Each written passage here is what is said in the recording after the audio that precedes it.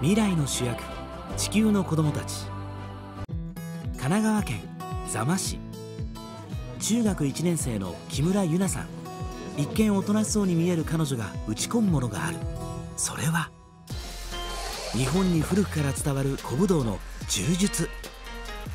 柔道との違いは寝技や関節技に特化しているところ。勝敗は一本勝ちや判定勝ちなどがあるがこの道場では特に一本勝ちを教えている。お兄さんの影響で4歳から柔術を始めたというユナさん。昨年行われた世界大会で見事優勝を果たす。柔術の魅力は？相手を傷つけずに仕留められることが魅力だと思います。8年間ユナさんを指導してきた山田さんは？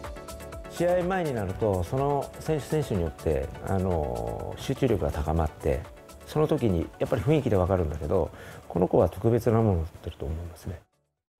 その言葉通り男子とのスパーリングでも一瞬にして腕十字で一本勝ち。すごいね。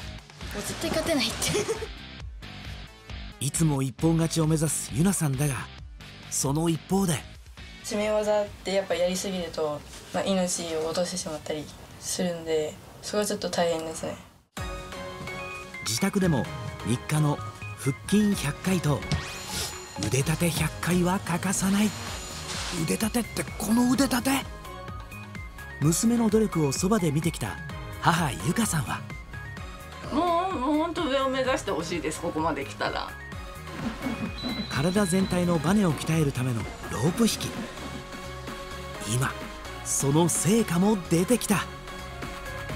柔術に青春をかけるゆなさんの夢。柔術を盛り上げて有名にしてオリンピック競技にしたいです。